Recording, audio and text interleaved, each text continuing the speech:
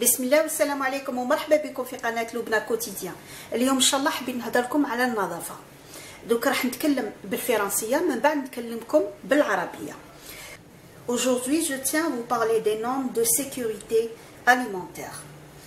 Le but de ces normes ont été créées pour garantir aux consommateurs une sécurité et une qualité alimentaire. Le respect de ces normes est une obligation pour le manipulateur d'aliments. On peut se poser une question. Les normes d'hygiène, c'est quoi Eh bien, les normes d'hygiène sont les règles d'hygiène et de sécurité relatives aux locaux, aux équipements, au personnel et au fonctionnement. دوك نترجم لكم كنت نهضر على المعايير أو المقاييس المعمول بها في الأمن الغذائي ما هو الهدف من هذه المعايير هو ضمان للمستهلك الأمن والنوعية الغذائية. دوك نفهمكم المقدمة اللي هدرت عليها. هو أنه كل إنسان مسؤول على منتوج غذائي هو راهو مسؤول بالدرجة الأولى على سلامة الفرد أو الجماعة اللي راح ياكلوا هذاك المنتوج. هذه المسؤولية تجاه المستهلك تكون بدرجات متفاوتة. يعني يقدر يكون صاحب مصنع يكون مسؤول على الإنتاج تاعو يقدر يكون مثلا طباخ يكون مسؤول على تلاميذ في المطاعم المدرسية يقدر يكون الطباخ ولا يعني مام الأشخاص اللي يخدموا معاه يكونوا مسؤولين على سلامة مثلا الطلاب في المطاعم الجامعية. حتى الطباخ يعني le chef cuisinier في les restos ولا المطاعم مع يعني الأشخاص اللي يخدموا معاه يكون مسؤول على الزبائن تاعو. اليوم مانيش حابة نهضر على مسؤولية أصحاب هذه الأماكن؟ أنا حابة نهضر على مسؤولية المرأة في المطبخ تاع البيت تاعها. حبيت نزيد لكم أنه البكتيريا تتكاثر في أماكن ندخلوها يوميا. يعني كما المرحاض ولا المطبخ mais الموضوع تاعنا اليوم هو المطبخ. من الضروري انه ربة البيت تراعي قواعد النظافة المعمول بها وذلك لحماية الطعام من التلوث من الجراثيم. لأنه هذا الطعام راه يتقدموا لولادها تقدموا لزوجها تقدموا لضيافها. donc أكيد لازم الطعام يكون خالي من الجراثيم حتى نضمن أنه الطعام المقدم يكون غير ملوث بالجراثيم لازم نحترم قواعد النظافة المعمول بها في المطبخ. ربة البيت مهما كان المستوى الدراسي تاعها لازم تكون واعية ولازم تكون مسلحة ولازم تعرف هذه القواعد النظافة لأنها راهي مسؤولة مسؤولة بالدرجة الأولى على ولادها على مولابيتها على ضيافها كي يجوا يأكلوا ماكلتها. لازم تكون مسلحة ولازم تعرف هذه النقاط اللي راح نهضر عليهم باش هكذا إن شاء الله تضمن وجبة غذائية خالية من الجراثيم قواعد النظافة المعمول بها في المطبخ تتمثل في عدة نقاط. النقطة الأولى تكون في النظافة الجسدية مطلوبة عند الإنسان اللي يخدم في الماكلة يعني اللي يطيب ولا اللي يعاونوا كذلك. آه النظافة في الآلات اللي نخدموا بهم مثلا لي غوبو ومثلا الأواني تاني اللي نخدموا بهم طاولة العمل تاعنا. وكذلك نظافة الثلاجة ونظافة المطبخ ككل يعني الأرضية والجدران إلى آخره. النقطة الأولى حبيت نهضر لكم على النظافة الجسدية اللي تكون مطلوبة عند الإنسان اللي يطيب مام الإنسان اللي يعاونوه في الكوزينة. أول حاجة اللي يديرها الإنسان اللي راح يطيب هو يقطع تفرته يعني يقطع الأظافر ديالو. من الضروري أنه الإنسان اللي يطيب في الكوزينة يكونوا تفرتيه مقطعين لأنه الجراثيم يقدروا يتخباو تحت الأظافر. حتى طلاء الأظافر من الأفضل أنه المرأة تنحيه باش تدخل المطبخ باش تطبخ لأفراد العائلة تاعها. كاين بزاف نساء اللي يديروا لا مانيكور يعني يعتنيوا بالتزيين الأظافر تاعهم. يعني أنا دوك قلت لكم قواعد النظافة المعمول بها في المطبخ. المهم النقطة الثانية اللي حبيت نهضر عليها هي آه عن نساء اللي يلبسوا الخاتم ويطيبوا. على بالكم الخاتم هي مصدر للتلوث لأنه الجراثيم تدخل في هذاك آه الخاتم هذاك تدخل فيه الجراثيم وتقدر تنتقل إلى الأكل تاعنا. donc من الأفضل المراه كي تدخل الكوزينة.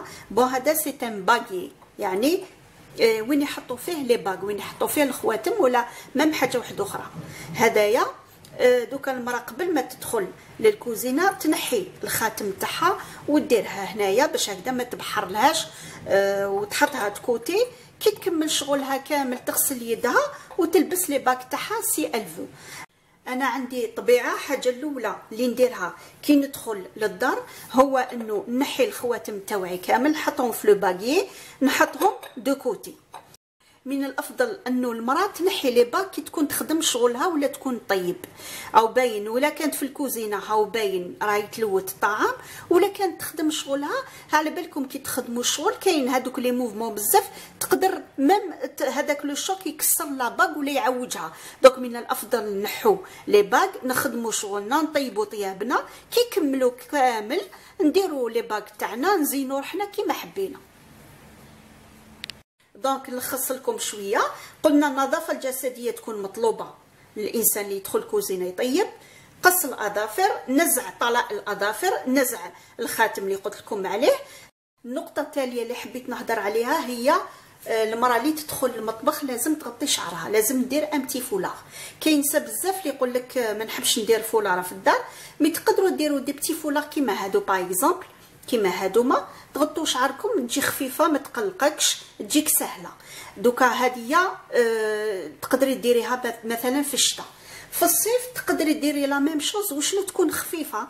par exemple la dentelle l'essentiel الشعر ما يطيحش. كيما هادية تحكم لك الشعر au même temps ما تقلقكش يعني خفيفة. elle est en dentelle voilà راهم موجودين في السوق تقدري تشري منهم. بعد ما هضرنا على النظافة الجسدية للأشخاص اللي يطيبوا دوك نهضروا على النظافة تاع الحوايج كيما هادو. mais par exemple اللي نخدموا بهم مثلا كيما هاد اللوح اللي نخدموا به. على بالكم آه، من الأفضل آه، اللوحة هذه آه، كل كل حاجة نخصوها لوحة. مثلا الخضر نديروا لها اللوحه تاعها. اللحوم نديروا لها اللوحه تاعها. الفواكه نديروا لها اللوحه تاعها.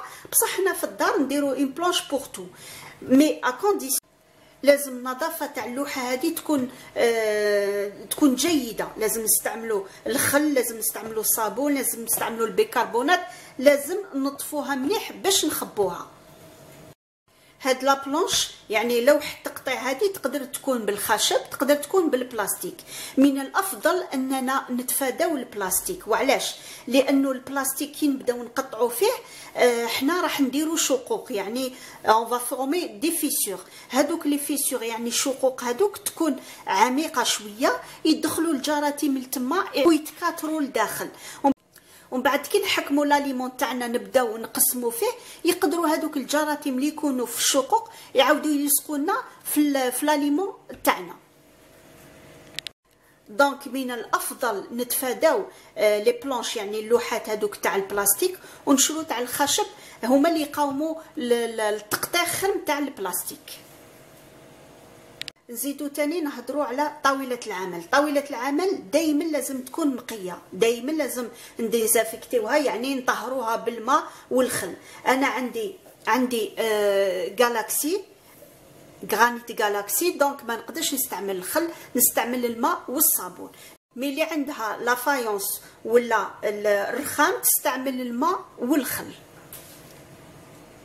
des fois نصيبو طاولة العمل تكون مشقوقة. من الضروري أن طاوله العمل تتغير لازم نبدلوها لأنه هذاك الشقوق لتما يدخل تدخل الجراثيم وتتكاثر وتولي تلصق لنا في المأكولات تاعنا. وما نساوش نظافة الثلاجة. كل ما استلزم الأمر لازم نقيو الثلاجة تاعنا. لا ما ننسى لازم نغسلوا ونطهروا الآلات اللي نخدموا بهم. آه مثلا لي غوبو لي اشواغ لي ميكسور. كاع الالات تاعنا لازم تتعقم وتغسل وتتعقم. إن شاء الله ربة البيت تأخذ نصائح اللي عطيتهم لها بعين الاعتبار لأنها المسؤولة الأولى على سلامة أفراد العائلة تاعها. راح نحضر شربات بنين بزاف. هاد المقادير العائلة اللي تكون صغيرة. مغرفة كبيرة مازهان زوج مغارف كبار من الحليب. 100 غرام سكر كريستاليزي 100 غرام من عصير الليمون يعني عصير تاع القارص 650 مليلتر من الماء المعدني. أنا استعملت هنايا 500 مليلتر ومن بعد نزيد 150 مليلتر. هنايا عندي برش تاع القارص آه، حبيت يكون تعطير طبيعي. أنا قلت لكم نستعمل برش تاع القارص. évitez les rajouts artificiels يعني تفاداو هذيك الإضافات الاصطناعية. آه، ما كانش كيما حاجة naturelle déjà هكذا بالبرش تاع القارص هذا يجي معطر ما شاء الله. نتوما حبيتو تزيدوا تعطروه ما أكثر زيدوا له le zeste de citron أنا راح نستعمل le blender اللي ما عندهاش تقدر تستعمل le mixeur أه وعلاش باش تجيني هذيك الرغوة البيضاء اللي تجي فوق الشربات؟ donc أه قلنا 100 غرام من عصير. القارص 100 غرام من السكر. مغرفة معمرة مليح المزهر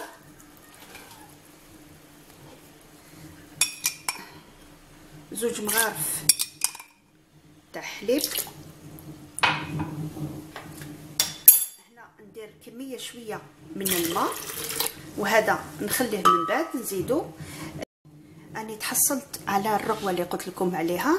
دوكا راهو داب لي السكر. دوك نكمل الكمية تاع الماء تاعي. دوكا هنا درت 500 مليلتر دوك راح نزيد 150 مليلتر دوك راني زدت كملت 150 مليلتر تاع ماء معدني يكون بارد. دوك نحطو في ال blender يزيد يخلط شوية تاعنا راهو جد طبيعي مئة بالمئة. في الآخر نزيدو له برش تاع القارص أنا كان في ال congélateur. وشنو نحيت له برك les pépins تاعو؟ كي شغل un glaçon voilà donc هذا يعطرو très bien c'est pas la peine de rajouter autre chose déjà عندك البرش تاع القارص يعطرو le jus de citron معطر وعندك الماء زهر donc c'est pas la peine de rajouter quoi que ce soit أنا هاد الكمية تشد لي يومين. هذاك الحليب اللي فيه في يومين هذوك ما تخافوش يعني ما يدورش.